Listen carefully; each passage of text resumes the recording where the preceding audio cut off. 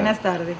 Bueno, este fin de semana se van a estar desarrollando disímiles actividades dedicadas al aniversario de los comités de defensa de la revolución. ¿Cómo no? Y la dirección provincial, eh, en conjunto con las direcciones municipales, tienen un programa de actividades bien amplio donde va a tener participación casi toda la población alta y hasta no alta porque hay actividades que van a estar programadas pegadito también al barrio. O sea que las actividades, aunque el fuerte las vamos a tener, actividades deportivas dedicadas a los CDR este fin de semana, pero se van a continuar desarrollando hasta el cierre del mes porque la celebración será el día 28 de septiembre. ¿Cómo no? ¿Qué va a estar pasando, Mariela? Bueno, nos encontramos en la Semana del Bienestar, y que en esta semana se han ido desarrollando estas actividades alegóricas al 62 aniversario del CDR, y mañana no es casual, eh, no es la primera vez que participamos en un maratón, que este maratón va a tener salida aquí en Bayamo, en la sede municipal y provincial de los CDR, se va a correr por toda la calle Martí hasta llegar al retablo de los CDR, un lugar histórico importantísimo para nuestra provincia. Se toma la calle eh, Bajada del Chapuzón y allí en el Chapuzón se va a estar realizando un festival deportivo recreativo. En este festival deportivo recreativo hay varias ofertas, porque también está la sala de juego que tiene juegos de mesa, juegos pasivos, de dominó, parchía, ajedrez.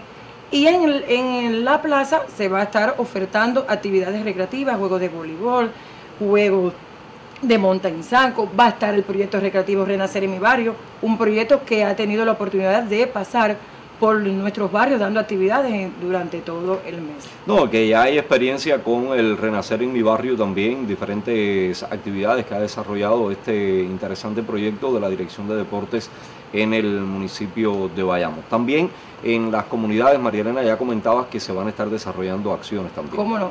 En todos los municipios se van a estar eh, dando estos maratones a nivel de combinado deportivo y también caminatas. Y eh, otra de las actividades importantes va a estar aconteciendo aquí en Bayamo, en el reparto Camilo Cienfuegos, en la escuela Amadio Esteven, el campeonato de dominó y dama para los CDR. O sea, ahí van a estar las peñas deportivas, los consejos voluntarios deportivos, que ese es otro de los campeonatos que es eh, de corte de larga duración, o sea, se han estado unas cuantas jornadas entre fines de semana y la final va a ser mañana. O sea que mañana tenemos la final del campeonato de, de dama y dominó. De dama y dominó en los alrededores de la Escuela Amado Esteves. A los alrededores de la Escuela Amado Esteves. Algo muy importante, Junel, no solo esas son las motivaciones, en el mes eh, pasado de agosto se dio un, evento internacional de fotografía donde fueron convocados varios eh, fotógrafos y hasta nuevos iniciantes.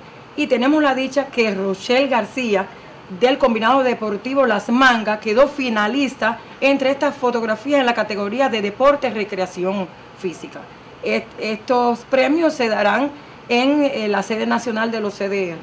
O sea que esto es otra de las motivaciones. Y hay algo muy importante que queremos eh, resaltar, eh, felicitar a Lilibert Rodríguez Rivero por alcanzar la medalla de plata en el Panamericano de Taekwondo en Sao Paulo, que se está desarrollando. Él alcanzó en la categoría en la división de los 47 kilogramos, que eso también eh, nos llena de alegría que nuestros atletas alcancen estos resultados. Una atleta jiguanicera que está participando en Brasil en este torneo y por supuesto la felicitación desde aquí para ella, para sus entrenadores y para la familia, porque sin el apoyo de la familia no hubiera sido posible tampoco este resultado, ¿verdad María Elena? Tú sabes, María Elena, que eh, estoy conversando contigo, pero estoy buscando información, estoy a la espera de los detalles de la actuación del equipo de Granma hoy en el Campeonato Nacional de Softball Rama Masculina. El torneo comenzó ayer allá en Ciego de Ávila. Gran Mayer dividió con Villa Clara, pero hoy los granmenses se están enfrentando a la selección de Ciego de Ávila. Y eh, Ciego es un equipo de los más fuertes que tiene en este momento el softball masculino. De hecho, es el actual campeón.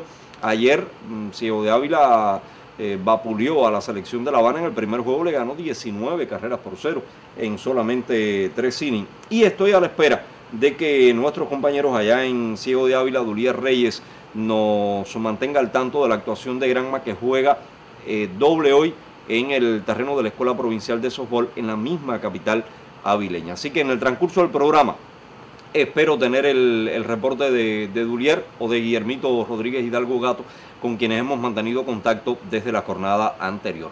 También, eh, María Elena, se van a estar desarrollando en los próximos días importantes eventos deportivos aquí en la provincia. Y ahí están las muchachitas del béisbol femenino que se han estado preparando. El 22 comienza la, gran final aquí en Bayamo, ¿verdad? Y va a haber el apoyo con ellas allí de la Dirección de Deportes en Bayamo. Así mismo. Y todo, toda grama vamos a estar en la expectativa porque a todo el mundo le gusta esa incursión de, de las de Las muchachas en, el, en el béisbol. Y las seis selecciones finalistas son Pinar del Río y La Habana por el occidente, Ciego de Ávila y Camagüey por el centro y Santiago de Cuba y Granma por acá por el oriente. Gracias María Elena por haber estado con nosotros aquí con nosotros a esta hora del medio.